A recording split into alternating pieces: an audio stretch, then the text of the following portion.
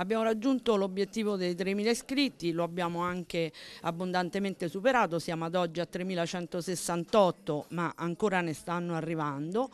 Un dato importante è che c'è un 60% di persone che per la prima volta hanno deciso di sostenere il Partito Radicale iscrivendosi e che quindi pur avendo magari seguito negli anni le iniziative che abbiamo portato avanti, questa volta hanno deciso di sostenere e far vivere il Partito Radicale.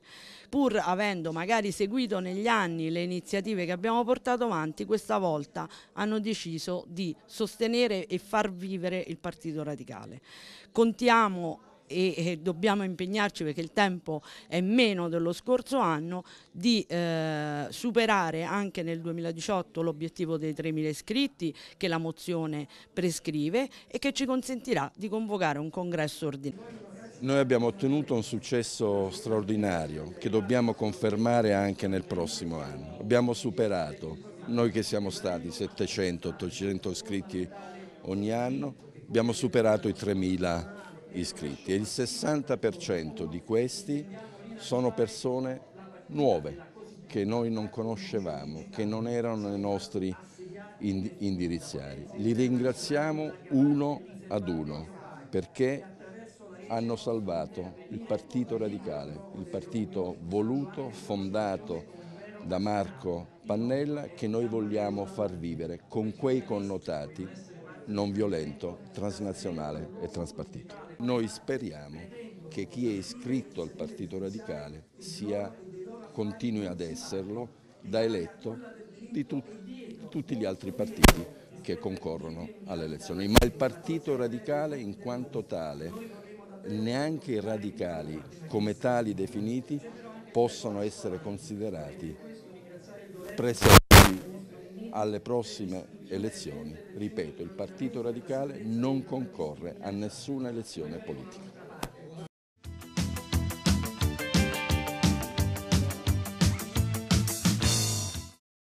Oggi al Teatro Sociale di Camogli abbiamo presentato il Parco Nazionale di Portofino che nasce da un mio emendamento in legge di bilancio e che è diventato legge dello Stato. Un altro parco nazionale in Liguria, dopo le Cinque Terre, due perle con una visibilità non solo nazionale ma internazionale.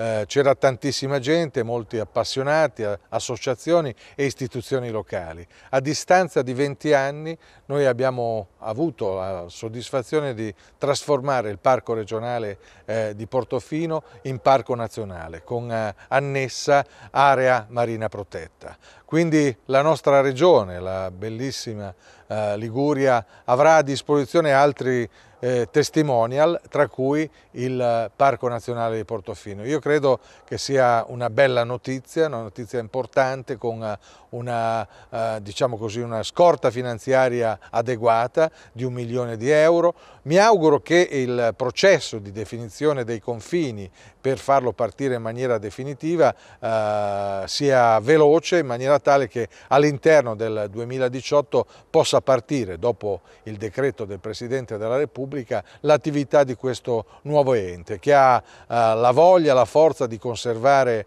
eh, una storia, la biodiversità, eh, un paesaggio unico e promuovere eh, il Tigullio, la, la Liguria.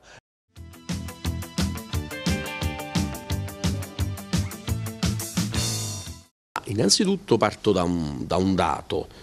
L'incontro di ieri era stato chiesto alle organizzazioni sindacali e quindi io posso esprimere innanzitutto oh, un giudizio non negativo della riunione di ieri. Ieri c'era la CGL, c'era USB e Federmanager. Devo dire la riunione comunque è stata una riunione proficua, franca, dialettica, però importante, perché ho detto delle cose molto importanti che sono state recepite credo con grande attenzione. Questo per quanto riguarda la strategia di ANM, rilancio di ANM, poi sul resto registriamo, l'ho già detto più volte in questi giorni, una risposta insoddisfacente sul fatto del 31 gennaio. Io voglio ancora sperare che all'ultimo minuto ci sia un cospicuo numero, un necessario numero di lavoratori che possa garantire alla città, ai napoletani, ai turisti un servizio che tra l'altro è rilevante per ragioni di sicurezza. Sì, in modo ricco di contenuti e di informazione per rafforzare comunicazione, devo dire anche innovazione, dettaglio, consentire la partecipazione dei cittadini con contenuti eh, scritti ma anche con fotografie. È importante per noi comunicare il lavoro enorme che si fa in città, il lavoro che fa questa amministrazione e poi la nostra è tra le città più cliccate al mondo quindi immagino che anche chi si incuriosisce sulla città o vuole venire a Napoli vada sul sito dell'amministrazione, del comune, di chi rappresenta la città, quindi è una grande responsabilità. Siamo contenti di questo obiettivo, è un sito devo dire molto funzionale, molto puntuale, molto preciso, che dà conto in modo corretto del lavoro che si svolge, quindi non si tratta di politica, non si tratta di propaganda, non si tratta di opinioni, si tratta di fatti che servono a tutti per farsi poi un'opinione sulla città e sulle cose che si fanno, sulle opportunità, sulle cose belle e sui problemi e le sofferenze su cui siamo ogni giorno impegnati. Anzi quindi comincia un 2018 di maggiore robustezza, come dicevo prima, dal punto di vista amministrativo, finanziario, istituzionale, ma anche politico, inizia una fase nuova e siccome la fase nuova non si annuncia nei suoi contenuti ma la si comunica nel momento in cui viene realizzata, in questi giorni si lavora per la creazione della fase nuova. Fase nuova sono i prossimi tre anni, perché i prossimi tre anni noi dobbiamo raggiungere tutti o quanti più obiettivi possibili che ci siamo dati nei due programmi elettorali della prima e della seconda elezione, soprattutto eh, con riferimento eh, ai servizi, che sono la grande sfida. Eh, la questione legata alla norma, alle norme, è una questione che ho dovuto gestire personalmente nella consapevolezza che alcuni non ci credevano. E allora questo è un tema, perché siccome questa è una città che non navigherà mai nell'oro, è una città in cui non ci sarà mai un giorno che non ci sarà un conflitto sociale, non ci sarà mai un giorno in cui potremmo dire tutto a posto, come amiamo dire noi, io ho bisogno di eh, essere sempre affiancato e non penso solo alla parte politica, perché qualcuno ha tirato i remi dentro anche non della parte politica, mi sto riferendo, e questo non va bene. Quindi con tutti i miei più stretti collaboratori noi dobbiamo fare un bel check e vedere chi se la sente fino in fondo, perché noi non costringiamo mai nessuno, ci mancherebbe altro, a continuare una sfida che per noi continua a essere rivoluzionaria, quindi De Magistris non è cambiato nel suo modo di intendere il rapporto con la città, con l'amministrazione e con la politica, ma che sia di grande affidabilità di governo, che noi abbiamo dimostrato, perché se questa città, non parlo di De Magistris solamente, non avesse avuto forza, credibilità, autorevolezza e concretezza, noi quel risultato nella manovra del bilancio non lo portavamo a casa. Quindi quello è un ottimo eh, trade union che ci accompagna dal 2017 al 2018. Quindi questa è la cosa che non mi è piaciuta tanto.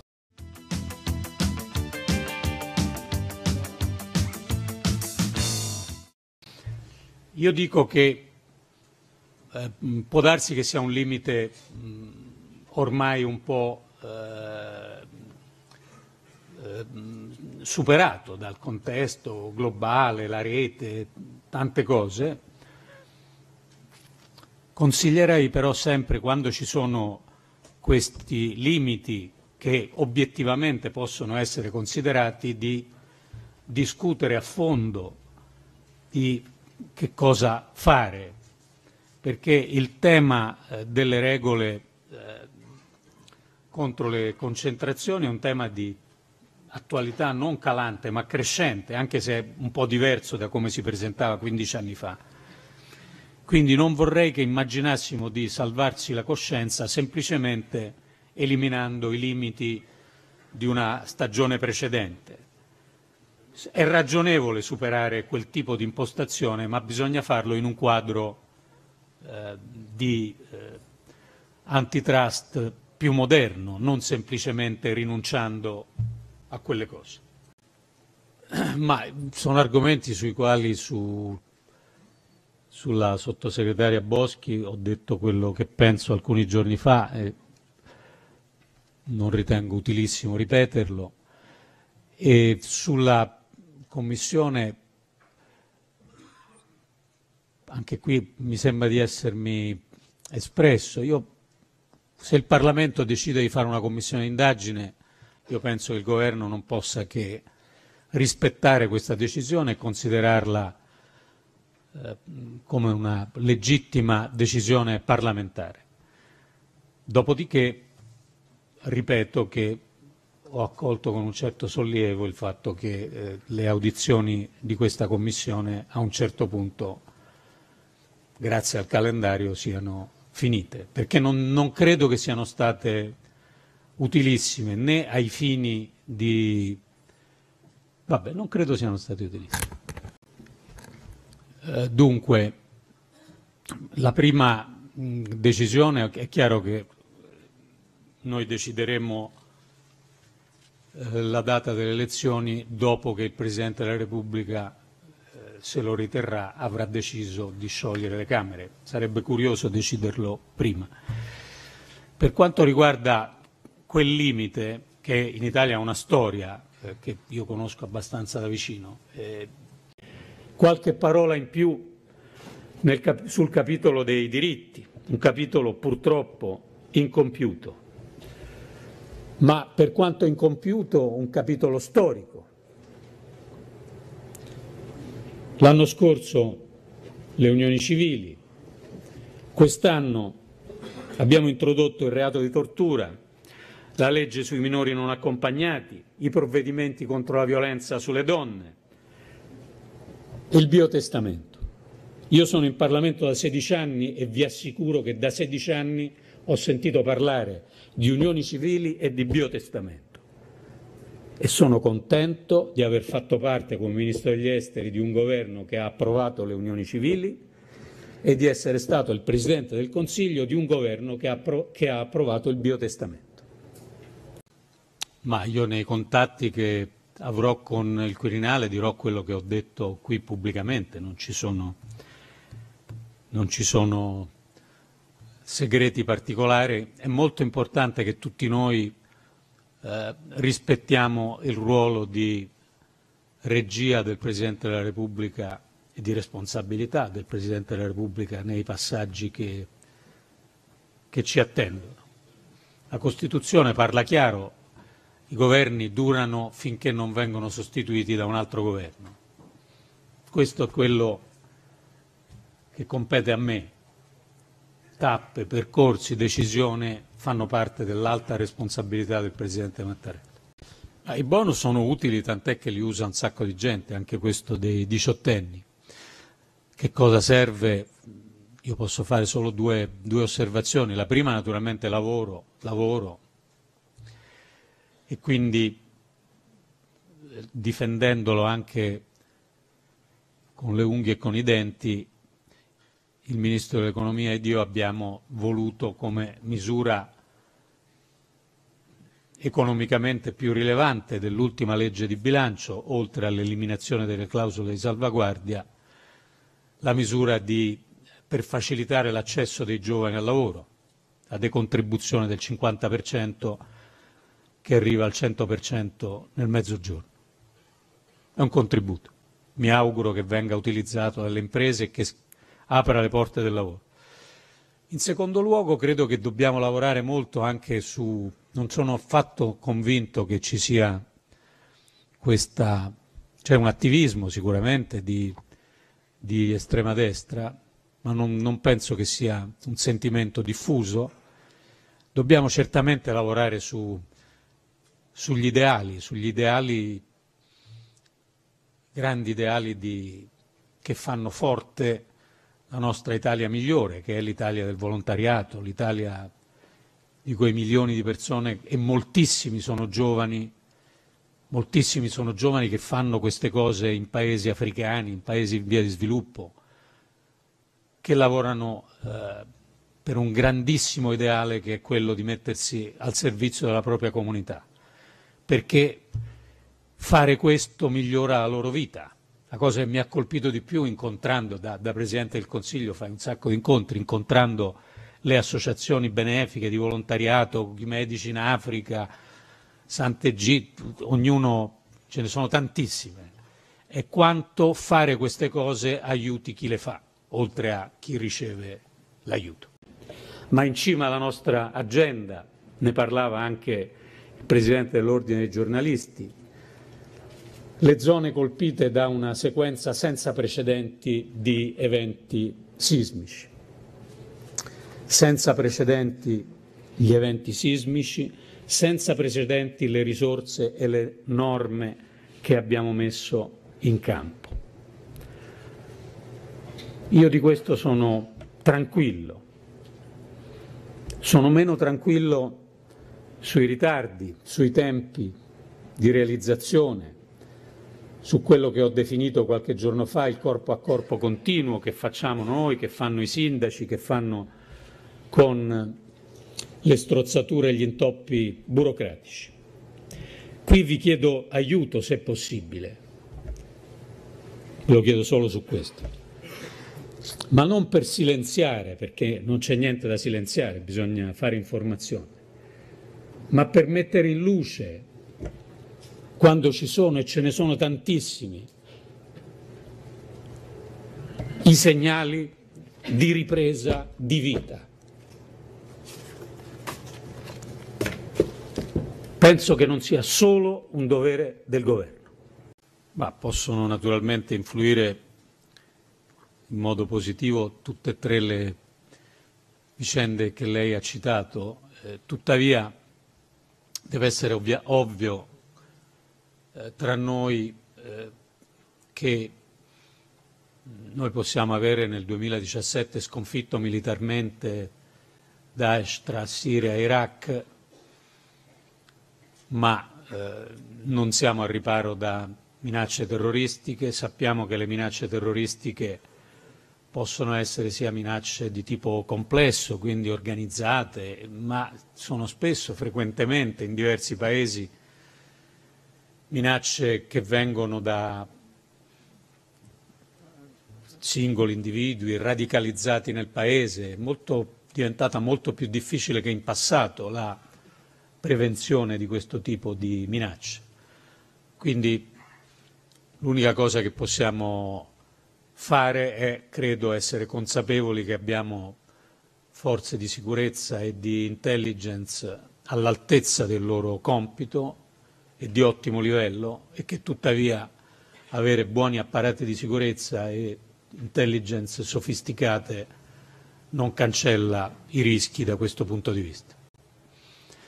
Non confondiamo questo fenomeno epocale e globale al quale dobbiamo rispondere non con un protezionismo revanchista, ma con un lavoro sulle diseguaglianze, perché le diseguaglianze sono diventate scandalose nella società contemporanea. Non confondiamo questo con una sindrome, a mio avviso, molto invece italiana, che invece è una malattia più storica, forse anche più difficile da affrontare, ma più specificamente italiana, che è la relativa scarsa, diciamo così, eh, considerazione di sé che il nostro Paese ha e che a me ha colpito molto. Io ho avuto il privilegio di fare per oltre due anni il Ministro degli Esteri e vi assicuro che noi siamo in giro per il mondo uno dei paesi più amati ammirati, considerati e invidiati del mondo.